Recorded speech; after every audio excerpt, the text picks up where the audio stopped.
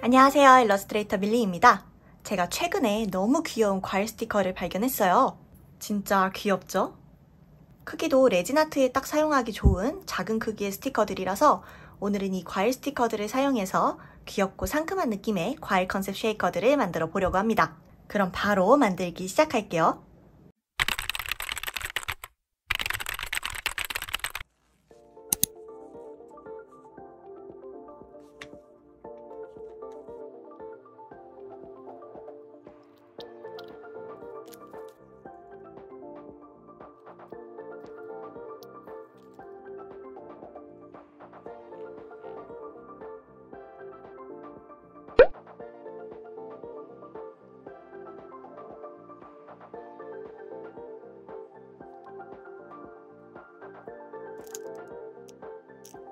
이대로 5시간 정도 굳혔다가 다음 층을 채워줄게요.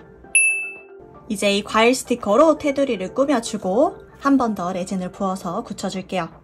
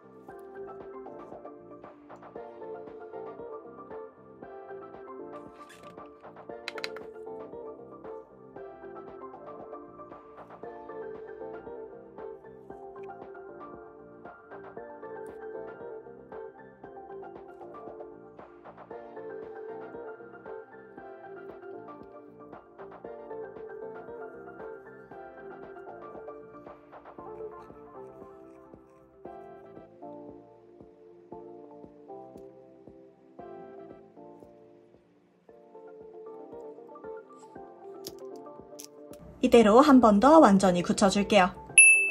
이제 타령해 볼게요.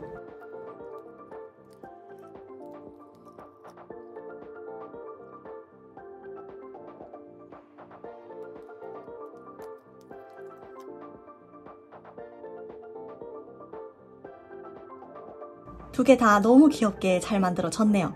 되게 장난감 같기도 하고 과일 스티커들도 또렷하게 잘 보여서 진짜 귀엽네요. 그럼 윗면을 막을 필름을 두 장 잘라줄게요.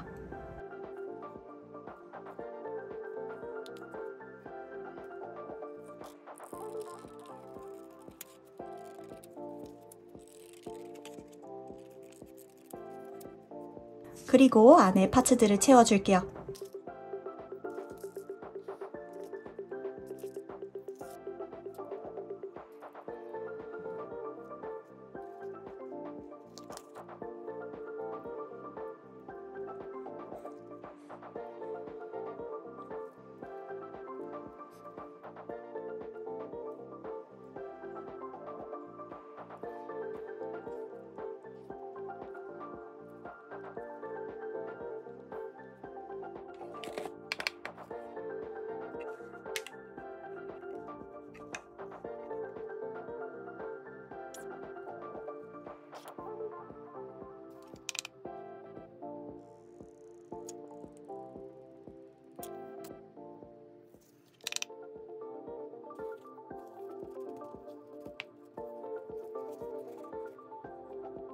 이제 앞면 꾸미고 도민까지 할게요.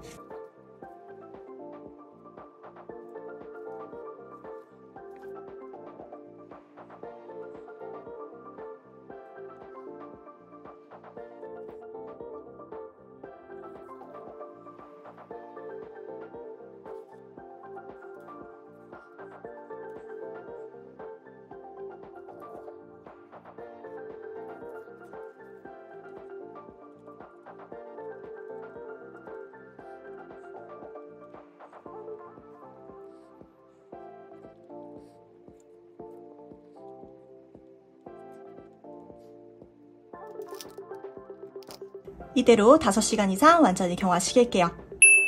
이제 캐링 달고 마무리할게요.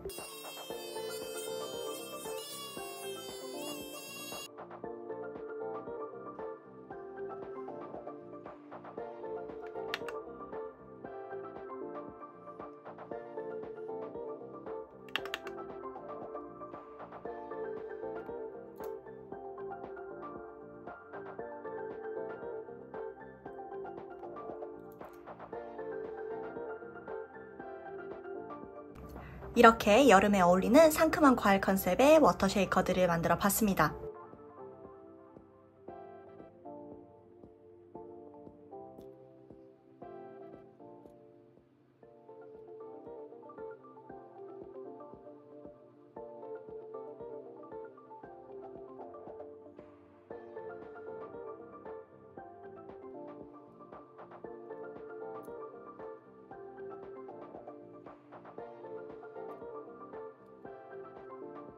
이 과일 스티커 자체가 귀엽기도 하고 또렷하게 잘 보여서 진짜 귀여운 쉐이커들이 완성됐어요.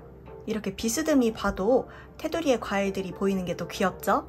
이래서 쉐이커 만들 때 이렇게 투명한 층을 앞면에 한 층 만들면 간단하게 꾸민 쉐이커라도 깊이감이 느껴지면서 다양한 각도에서 보는 재미가 더해져서 더 퀄리티 높은 쉐이커를 만들 수 있어요. 그래서 저는 앞면에 투명한 층을 자주 만드는 편이죠. 두 쉐이커 다 색도 마음에 들게 잘 만들어졌고 도밍도 깔끔하게 잘 돼가지고 더 마음에 드네요. 요즘같이 꿉꿉하고 더운 날씨에 이 과일 쉐이커들 제작 과정 보시면서 조금이나마 상큼하고 시원한 느낌을 느끼실 수 있었다면 좋겠습니다. 그럼 오늘 영상도 끝까지 봐주셔서 감사하고요. 저는 또 다음에 예쁜 작품 가지고 올게요. 그럼 다음 영상에서 만나요. 안녕!